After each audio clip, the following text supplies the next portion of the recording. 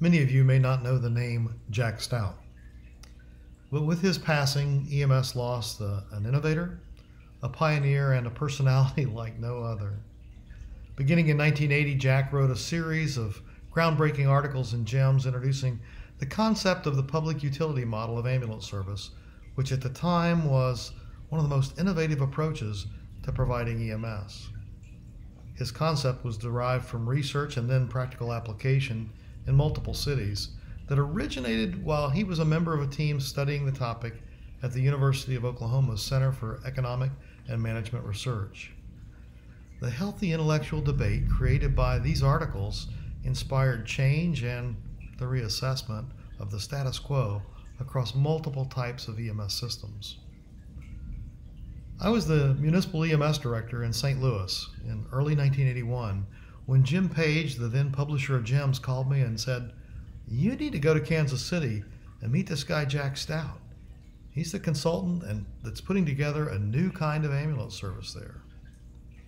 Jack's commitment to patients and system accountability deeply impressed me.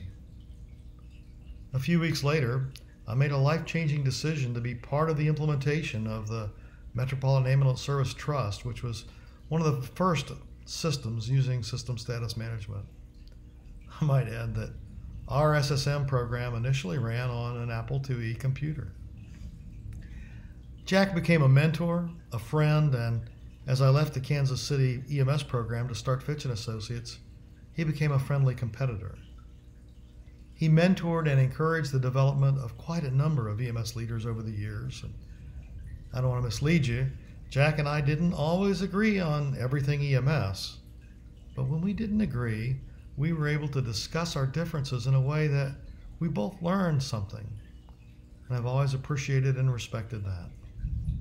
Now, Jack was also a prolific writer. In addition to writing in JEMS, he contributed chapters and articles to multiple textbooks, including the original edition of the Pre Hospital Systems and Medical Oversight text created by the National Association of EMS Physicians that was used for training medical directors.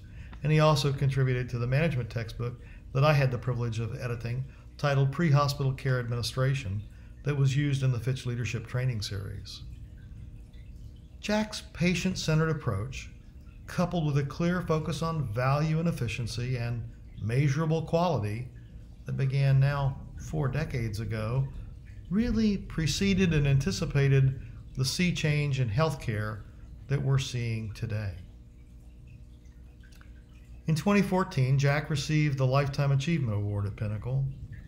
He was sadly already suffering from Alzheimer's, and it was a bright moment for him and for many of us that he mentored over the years when he received a very small token of the recognition he deserved. Jack leaves behind an incredible legacy.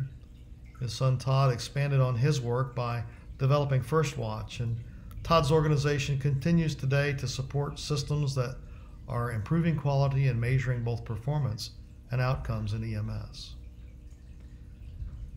You know, it's been said that we all leave footprints in the sands of time. And Jack Stout left positive footprints for our profession on multiple leaders and on his family as well. He's given us footprints to follow as we continue to effectively and efficiently serve patients. Thank you, Jack.